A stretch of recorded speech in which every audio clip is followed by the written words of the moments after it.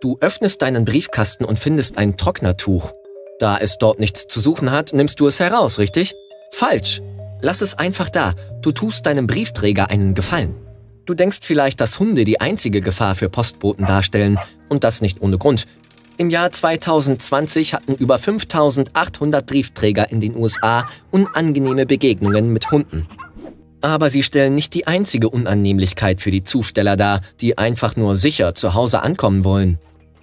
Daher stecken sie häufig solche Tücher in die Briefkästen, um sich selbst vor Wespen zu schützen. Klingt vielleicht komisch, der Durchschnittsmensch kann damit rechnen, etwa fünfmal im Leben von einer Wespe gestochen zu werden. Die Wahrscheinlichkeit liegt also viel höher, als von einem Hund gebissen zu werden. Und warum helfen Trocknertücher gegen Wespen? Das ist wirklich simpel. Wespen ertragen den Geruch nicht. Er ist einfach zu intensiv für sie, also vermeiden sie das Tuch, das eigentlich unsere Wäsche auffrischen soll. Doch dieser aufdringliche Duft ist für die Wespen eine eher kleine Sorge. Sie haben auch gar keine Zeit, sich weiter Gedanken drum zu machen. Im Schnitt ist das Leben einer Wespe verdammt kurz. Die meisten leben gerade mal 22 Tage. Für die Königin gilt das allerdings nicht. Sie lebt bis zu einem ganzen Jahr. Trotzdem ist es gut, dass all die anderen sich nicht ständig Sorgen machen müssen, einem Trocknertuch über den Weg zu laufen bzw. zu fliegen. Irgendwie ist es witzig, dass die Wespen mit dieser kurzen Lebensspanne den Postboten, der sie zu meiden versucht, besser verstehen könnten als ihre Königin.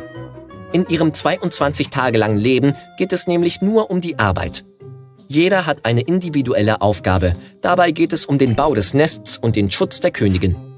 Im Nest leben zwei verschiedene Arten von Wespen. Die Drohnen, das sind die Männchen, und die Arbeiterinnen. Die letzteren sind sehr emsig. Sie beginnen ihr Leben mit der Fütterung der Larven. Die Larve ist ein noch nicht ausgereiftes Insekt und gerade erst geschlüpft. Sie entwickelt sich zur adulten Wespe. Diese Aufgabe übernehmen die Arbeiterinnen etwa drei bis vier Tage lang. Danach übernehmen sie Aufgaben, für die sie das Nest verlassen müssen. Sie holen Wasser oder bringen Holz als Baumaterial für das Nest mit. Das mitgebrachte Wasser spucken sie aus, um den Eingang zu vergrößern. Das Wasser mischt sich mit dem zu entfernenden Material und bildet Pellets, die aus dem Nest getragen werden. Die Arbeiterwespen durchlaufen dann eine Phase intensiver Mitarbeit beim Nestbau, bevor sie für die Nahrungssuche verantwortlich werden. Die Wespen beziehen ihre Energie aus Nektar oder Honigtau und Proteinen aus anderen Insekten oder Tieren. Und diese Arbeiterinnen sind wirklich selbstlos. Sie verfügen selbst gar nicht über die nötigen Enzyme, um das eingetragene Futter zu verdauen.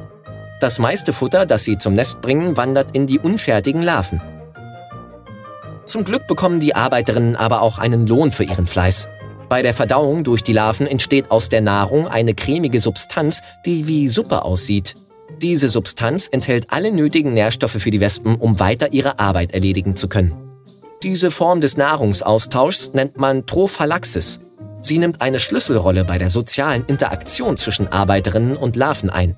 Bei ihrer Suche nach Nahrung entfernt sich eine Arbeiterwespe bis zu 300 Meter vom Nest.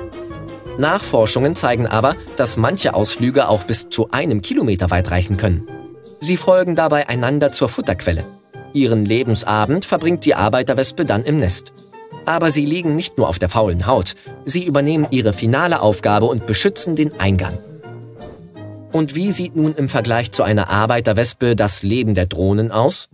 Nun, der männliche Gegenpart ist ein eher träger Gesell und das, obwohl er größer ist. Die Drohnen werden im Schnitt über 1,2 cm lang, während die weiblichen Arbeiterwespen deutlich kleiner bleiben. Die Drohnen sind auch auffälliger gefärbt. Sie haben schlaffe Antennen und können nicht stechen. Die Königin ist größer als beide und bringt es auf ganze zweieinhalb Zentimeter Länge.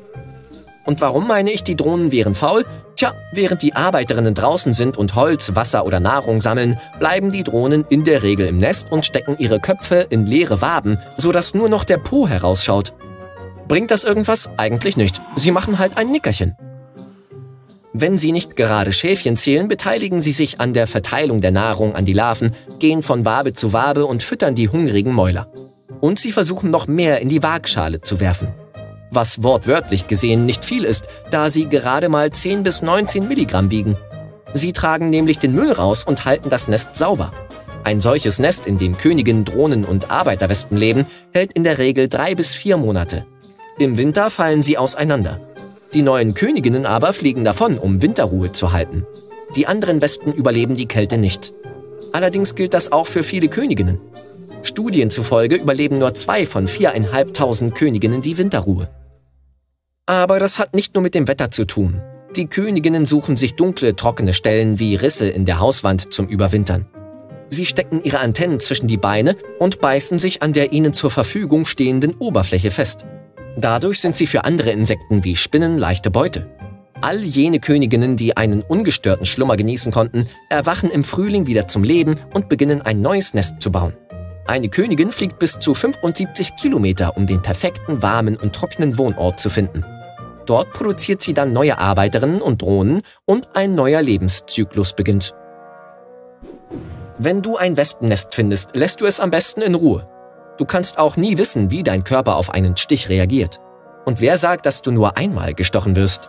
Ein durchschnittliches Wespennest wird im Sommer von bis zu 10.000 Tieren bewohnt. Daher überlässt du das Nest lieber dem Kammerjäger. Und was kannst du tun, um eine unangenehme Begegnung gänzlich zu vermeiden?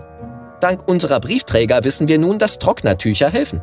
Weiterhin solltest du keine Lebensmittel herumliegen lassen, sie ziehen Wespen magisch an sei es proteinreiche Kost wie Hühnchen oder etwas Süßes wie Eiscreme. Wasche dein Geschirr ab und decke Reste sorgsam ab oder entsorge sie, wenn du mit dem Essen fertig bist.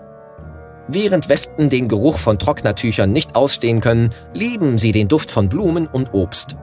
Überlege dir daher gut, welche Körperpflegeprodukte oder Parfüms du verwendest. Wespen könnten dich auf der Nahrungssuche mit Nektar verwechseln. Zu deiner Verteidigungsstrategie gegen Wespen sollte auch deine Kleiderwahl gehören. Trage Langarm-Shirts und lange Hosen. Vermeide Sandalen. Um keine Aufmerksamkeit zu erwecken, kannst du auch rote Klamotten tragen, da Wespen diese eine Farbe des Regenbogens nicht sehen können. Das Wichtigste ist aber, und ich weiß, dass es leichter gesagt als getan ist, also bitte nicht böse sein, ruhig bleiben. Studien zeigen, dass mit den Armen panisch um sich zu schlagen und für Aufregung zu sorgen, wenn die Wespe gerade landet, deine Chancen gestochen zu werden drastisch erhöht. Ich hoffe, diese Tipps helfen dir weiter. Und denke derweil bitte an die Briefträger und lasse dieses Trocknertuch einfach da, wo es ist.